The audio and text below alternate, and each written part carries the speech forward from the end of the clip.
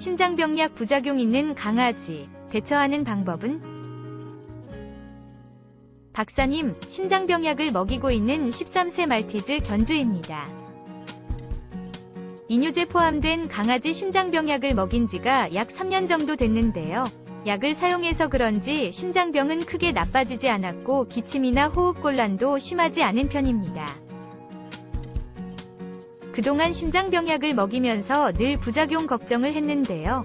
이뇨제를 오랫동안 사용하면 부작용으로 심부전이 발생할 가능성이 높다는 글들을 많이 봤기 때문입니다. 그런데 저희 강아지한테서도 문제가 생겼는데요. 며칠 동안 아이가 잘 먹지 않더니 계속 토를 했습니다.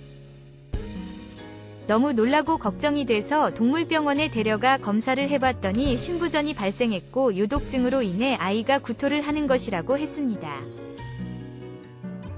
며칠 입원시켜서 치료를 했더니 다행히 신장 수치가 내려와서 퇴원시켰는데요. 이뇨제가 강아지 심부전의 원인이라는 말을 들으니 계속 사용하기가 너무 부담스러운데 동물병원에서는 그래도 심장병은 계속 치료를 해야 한다고 하는데 정말 어떻게 해야 할지 고민입니다. 박사님, 저희 강아지에게 계속 이뇨제가 포함된 심장병약을 먹여야 하는 것인가요? 심장병약을 끊을 수 있는지, 그리고 꼭 이뇨제가 포함된 심장약을 먹여야 한다면 강아지 심부전을 예방하거나 또는 막기 위해 뭘 어떻게 해줘야 하는지 알려주시면 감사하겠습니다. 집에서도 편하게 강아지 질병 상담을 받을 수는 없을까? 집에서도 핸드폰으로 강아지 질병 상담을 받을 수 있습니다. 우리 펫닷컴에서 수의학 박사 닥터 엠에게 강아지 질병 상담을 받아보세요. 안녕하세요.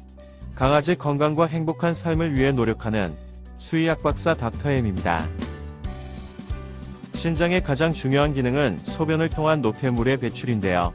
손상이나 파괴로 인해 신장세포가 기능을 상실하면 혈중 특정 수치인 비유엔과 크레아티닌이 증가하는데 이들을 신장 수치라고 하며 이들 신장 수치는 신장세포의 75% 정도가 기능을 상실했을 때 정상보다 높게 나옵니다. 그리고 강아지 신부전은 신장이 제 기능을 수행하지 못하는 상태를 말하며 판단 기준은 크레아티닌 수치인데요. 비유엔 수치의 증가도 신장이 제 기능을 하지 못하는 상태를 나타내는 것이긴 하지만 강아지 신부전의 판정은 크레아티닌 수치가 기준인 것입니다.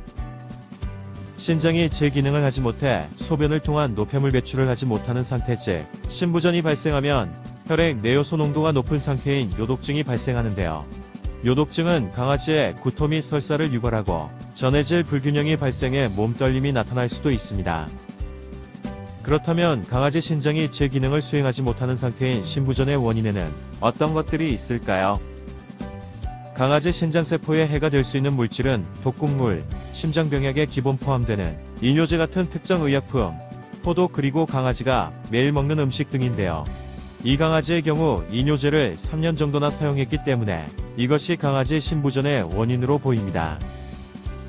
즉 강아지 심장약의 기본 처방되는 이뇨제의 장기간 사용으로 인해 신장세포가 상해를 입어 기능을 상실했기 때문에 크레아티닌 수치가 증가하고 신부전이 발생한 것으로 추정되는데요.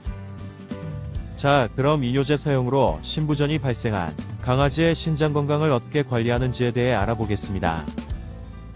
우선 강아지 신부전의 원인일 가능성이 확실해 보이는 이뇨제의 계속적인 사용이 꼭 필요한지를 파악해야 할 것 같은데요.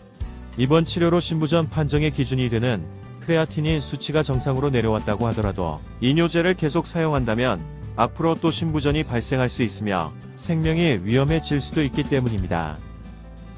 따라서 우선 강아지 심장병을 관리하기 위해 이뇨제의 사용이 꼭 필요한지를 확인해 보실 필요가 있는 것인데요. 현재 심장병으로 인한 폐수종이 발생한 상태가 아니라면 이뇨제 사용이 꼭 필요한 것은 아니며 신부전이 발생한 강아지라면 더욱 사용에 신중을 기해야 할 것입니다. 그리고 심장병으로 인해 발생한 폐수종 때문에 꼭 이뇨제를 사용해야만 하는 상태라면 용량을 줄이거나 또는 신장에 상해를 덜 입힐 수 있는 다른 종류의 이뇨제로 교체하는 것이 도움이 될 수 있으며 민들레 잎에 의한 안전한 천연 이뇨장용이 포함된 닥터에마트 플래티늄 같은 심장 영양제를 사용해 볼 수도 있는데요. 닥터에마트 플래티늄은 심장약과는 다른 방법으로 심장박동을 강화하고 판막을 포함한 심장세포를 보호하며 정상 심장보다 더 많은 일을 해야 하는 문제가 생긴 심장이 박동하는데 충분한 에너지를 공급하는데 도움이 돼 강아지 심장병을 관리할 수 있는 것은 물론 민들레 잎에 의한 안전한 천연 이뇨작용이 추가됐기 때문에 폐수종까지 관리할 수도 있기 때문입니다. 결론적으로 강아지 신부전을 예방하고 신장을 건강하게 유지하기 위해서는 심장약을 중단하고 이뇨작용이 포함된 안전한 심장영양제 닥터에마트 플래티늄과 강아지가 기침을 한다면 호흡기 영양제 닥터에말티 골드로 관리를 해보실 수 있으며 심장약을 사용한다고 해도 이뇨제는 빼고 강심제나 혈압약만 사용해야 할 것 같은데요. 그리고 신장을 건강하게 유지하기 위해서는 이뇨제 같은 약품을 중단하는 것 이외에도 강아지 신장세포에 해를 입힐 수 있는 중요 요인인 음식을 잘 관리하셔야 합니다. 즉 강아지가 섭취한 음식에 들어있는 인이나 섭취한 음식 소화 과정에 생성되는 암모니아 및 요소 등이 장에서 흡수돼 신장에 도달하면 신장세포에 손상을 입힐 수 있기 때문에 음식 섭취가 강아지 신부전 관리에 중요한 것인데요. 따라서 인이 많이 포함된 육류 등의 섭취를 줄이고 음식에 들어있는 인이 장에서 흡수되는 것을 최소화해야 하는 것이 중요하며 또 음식 소화 과정 중 생성되는 암모니아나 요소 같은 단백질 분해산물의 생성을 최소화해야 하는 것이 필요한데 이런 목적에 맞는 제품이 바로 강아지 신장 영양제 닥터엠 레날입니다. 닥터엠 레날은 음식물 소화 과정에 만들어지는 암모니아나 요소의 생성을 억제하는 것은 물론 인과 결합해 대변으로 배출시킬 수 있으며 신장세포를 직접 보호하는 데 도움이 될 수 있는 오메가3 지방산까지 포함된 안전한 건강식품으로 강아지 신장 건강 유지와 신부전 관리에 도움이 되는 제품이기 때문입니다. 감사합니다. 강아지 건강과 행복한 삶을 위해 노력하는 수의학 박사 닥터엠이었습니다.